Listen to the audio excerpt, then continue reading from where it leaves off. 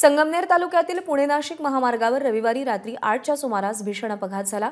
बाजूनं जात असलेल्या कारवर टेम कारवरती टेम्पो आडवा झाला आणि त्यामध्ये चौघांचा मृत्यू झाला.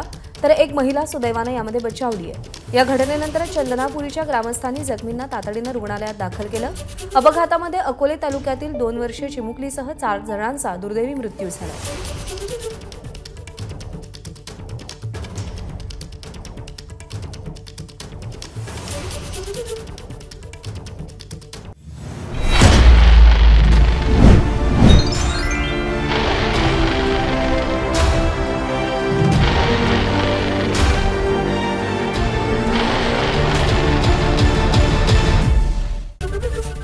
एबीपी माझा.